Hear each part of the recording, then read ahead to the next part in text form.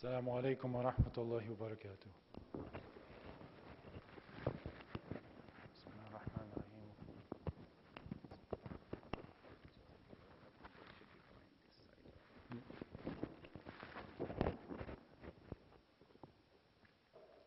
الحمد لله نحمده ونستعينه ونستغفره ونعوذ بالله من شرور أنفسنا ومن سيئات أعمالنا.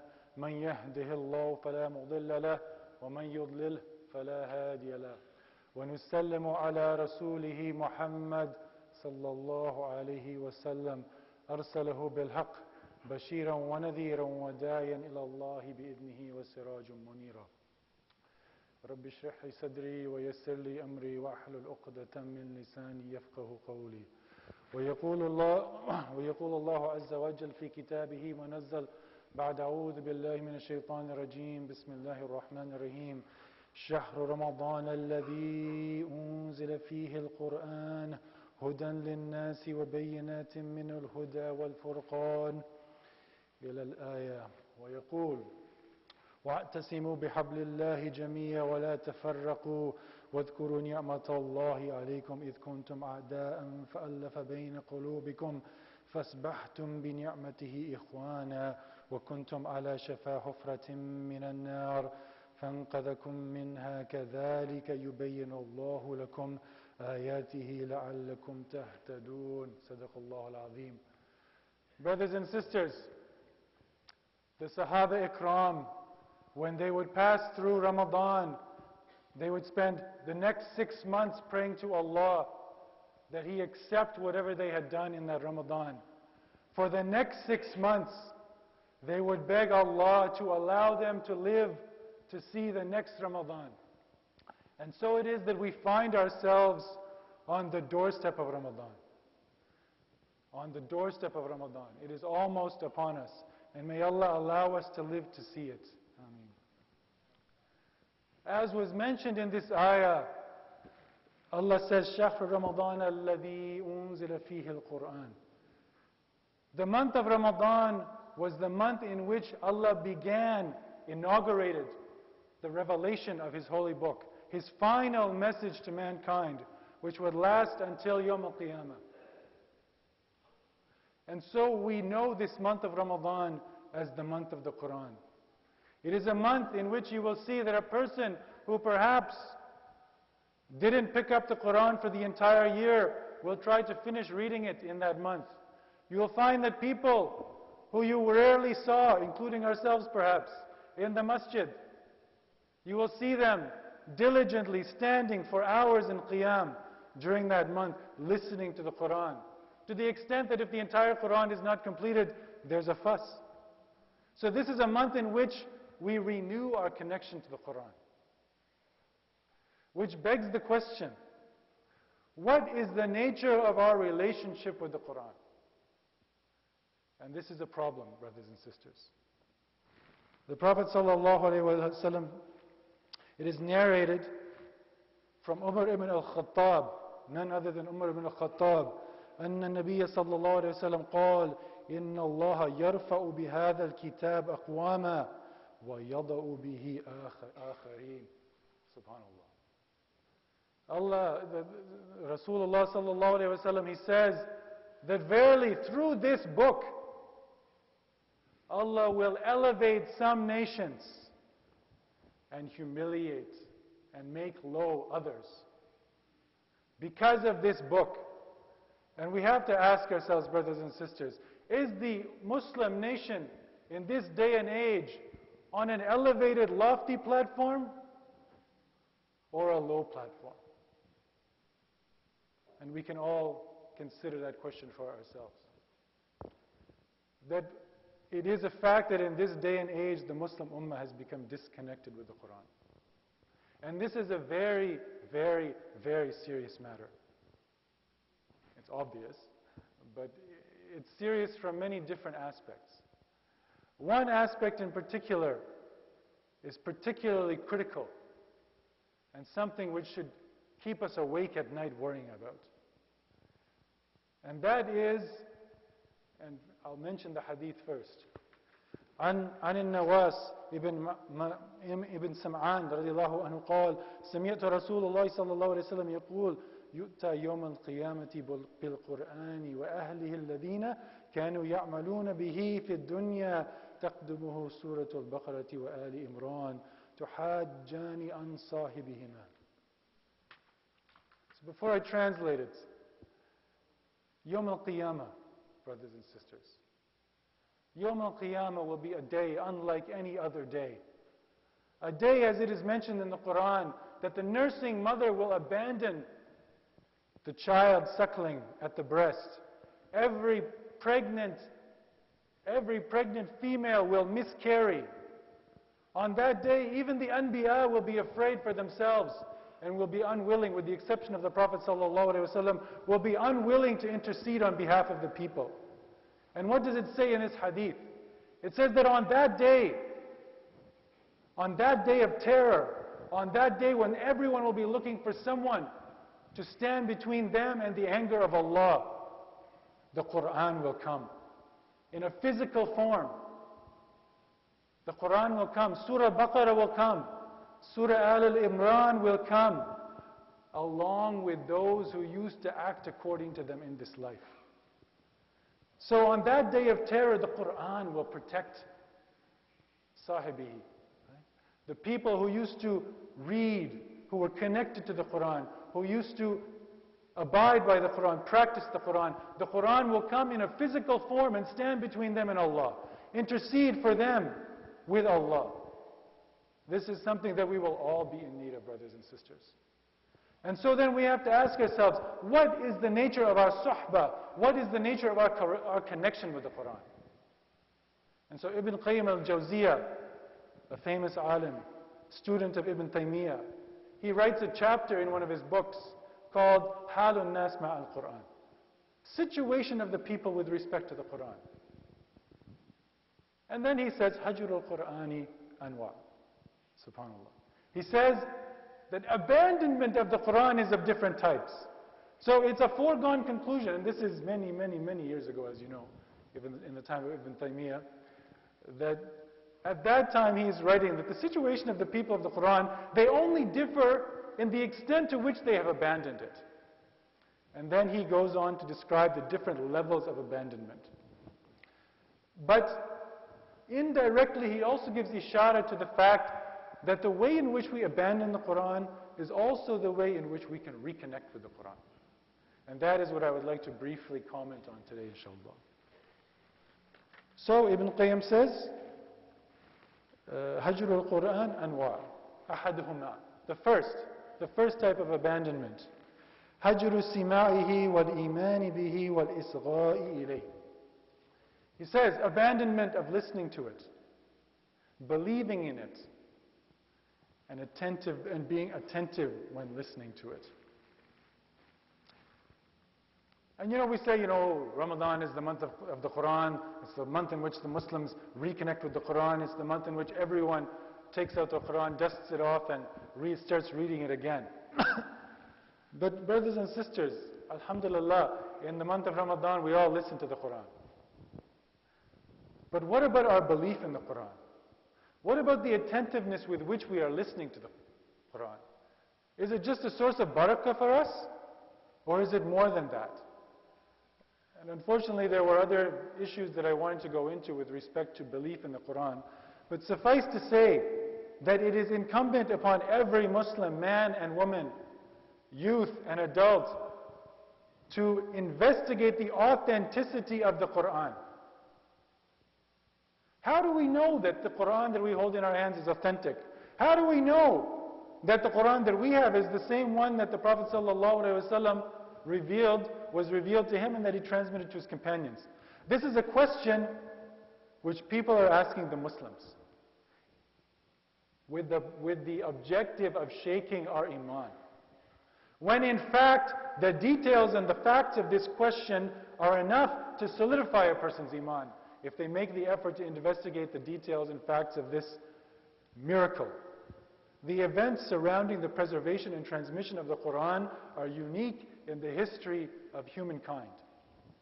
And I would encourage all of you, As, as was mentioned, Sheikh Badat is an ocean of knowledge. If he were to be asked, he could very easily give a khutbah or a talk specifically on this subject. So this is only the first level of abandonment of the Quran.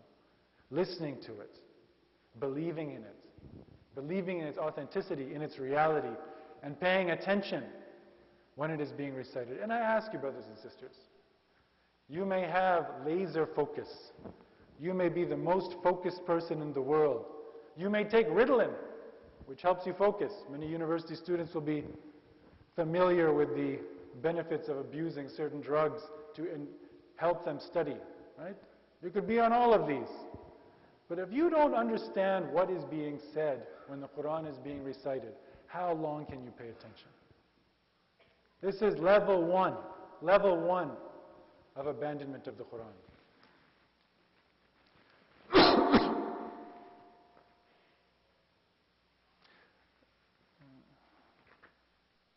and you know, basically in this regard with respect to belief, you know, uh, one of the events which are often celebrated is the event of Isra and Miraj. Recently, just a few weeks ago, this was something that the community was celebrating. And it's interesting if you, if you consider the miracle of Isra and Miraj. Because really the miracle of Isra and Miraj points to a greater miracle. And that was elucidated by Abu Bakr as-Siddiq, who got his kunya as-Siddiq because of the events of Isra and Miraj. People came to him and the munafiqeen came to him and said, can you believe it? Can you believe the ridiculous, amazing thing that the Prophet ﷺ is now claiming? He claims that he went in one night from Mecca to Jerusalem and up to heaven and back in one night. How ridiculous is that? So Abu Bakr had two replies. He said, if he said it, it's true. I don't need to ask anything else. That was his first reply. Second reply, he said, we already believe something much more amazing than that.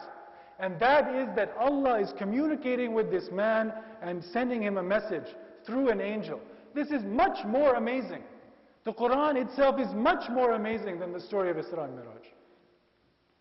Number two, الثاني هجر عمل به والوقوف عند حلاله وحرامه وإن قرأه وآمن به سبحان الله excuse me abandoning acting according to it, and making the limits of halal and haram whatever is in the Quran, even if we recite it and we believe in it. This is the second level of abandonment. Brothers and sisters, the rules and regulations of Islam are not chains which Allah has placed on us. As, we often, as often it is expressed, so many rules and regulations, do's and do nots in Islam. I feel as if I'm chained. Right? This is not what these things are. These are a safety barrier. The limits which Allah describes to us in the Quran, through, through the Sharia, through fiqh, is a safety barrier which protects us from destruction. Right? The Prophet ﷺ said, I'm like a man standing near a fire and all of the bugs and insects are trying to fly into the light, and I'm trying to stop them. All of this is to save us from destroying ourselves, brothers and sisters. This is what Allah intended when He sent this to us as a gift. Hudan linnas. And when one's, and to abandon the Quran is to abandon His directions. It's to abandon the Sharia which comes out of the Quran and the Sunnah and the interpretation of all of that. Even if we're reading, even if we're reciting it, even if we believe in it. الثالث, number three, هجر تحكيم تحكيمه وتحاكم إليه في أصول الدين وفروعه واعتقاد أنه لا يفيد اليقين سبحان الله وأن أدلته لفظية لا تحصل العلم Subhanallah. That abandoning ruling according to it and seeking rulings through it and, and believing that we can't get certainty from what's in the Quran. And this relates back to the first point. And believing that whatever arguments are being made in the Quran, these are like rhetorical arguments. They don't actually provide any useful information. And again, this is something we are afflicted with in this age, brothers and sisters. And the point here is not to say that, you know, I'm calling for Sharia to be implemented in Canada and et cetera, et cetera. That's not the point. The point is that we need to understand that the Quran was meant to be enforced and enacted upon in all aspects of life. And this should be the ultimate goal of the Muslim Ummah. And if that is not the case for whatever reason, we should believe and feel that that is a deficiency in our lives. And again, coming back to the point of yaqeen, does the, does, does the Quran provide yaqeen? Can we read the Quran? ذَلِكَ الْكِتَابُ لَا رَيْبَ فِيهِ It is a book in which there is no doubt. When we pick up the Quran, when we read the Quran, do we feel that awe? Do we feel awe in our hearts That what we are picking up and what we are listening to is direct communication from Allah? That is something that requires reflection and contemplation in order for it to grow in the heart. You know, uh, just as an aside, I'm running out of time, but just as an aside, uh, you know, a person cannot will themselves to have, have iman. You can't wake up one morning and say, I'm going to have iman today. You can't make a conscious decision. And so people say, oh, well, you know, iman is something irrational and you, you people who believe, you don't think and you're just blind, blind followers. Now, it's important to understand the relationship between intellectual effort and reflection and iman. If I came to you and said, make me an apple, who here could make an apple from raw material? Nobody. But I can get you an apple. I can plant a seed in the ground. I can water it. I can fertilize it. I can pull out the weeds. I can prune it. I can make sure it gets pollinated. And at the end of all of that effort, that prescribed specific effort, which is known, I can produce an apple for you. This is the nature of the intellectual effort of reflection, tadabbur, tafahum, that a person goes through. And when that effort fills the mind, it overflows into the heart. And this is how the ulama have explained the relationship between reflection and contemplation and intellectual effort and the resulting iman. Number four, الرابع. This is what we just talked about. هجر تدبر تدبره وتفهمه ومعرفة ما أراد المتكلم به منه. This is what we just talked about. Abandoning thinking about it, struggling to understand it, and trying to determine what did the speaker want, intend through this? What did Allah want from us by sending this communication? This requires a deep study and reflection upon the Quran. And finally, and, and just before I leave that point, I'm not saying that you need to go and do this yourself from scratch. Alhamdulillah, we, we live in a city where there is no shortage of ulama. Alhamdulillah. And this is something that you can't take for granted. You know, uh, one of my colleagues, he moved to Toronto from California so that he could live in an environment where there was more deen, where there was more ilm, where there was more activity for him and his children. We take it for granted. We take it for granted. The, the caliber of ulama who are available to us. Seek out these ulama. Demand that they teach you. They will be only happy to do so.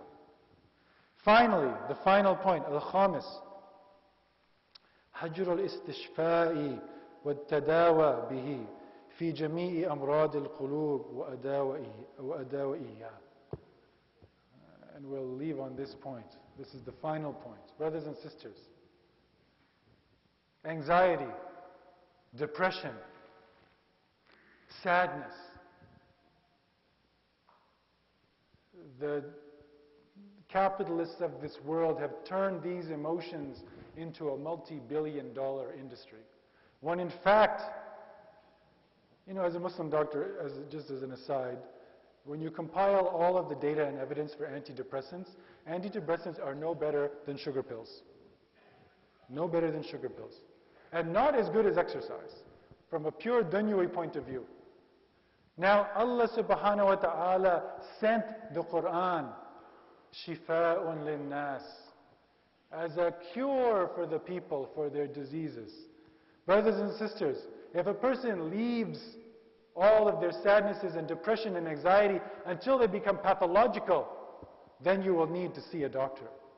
But if, when these things start, you go to the doctor of the hearts, to the curer of the hearts, who is Allah, you will not find yourself in such a deep, dark valley. So to conclude,